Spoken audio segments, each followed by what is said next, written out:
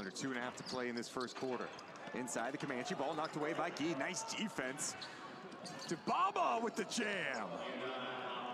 Call that a Baba boom. That's at least what they call his dunks, according to Wikipedia. Oh, I love it. Oh, the spin! Oh, getting crafty! Oh, Baba! Riller, the drop off. Baba has scored on three straight possessions. He's been putting them in a tough spot. In and out from distance for DJ. Baba on the move. Another three is on the way and it's in. Oh, Tyler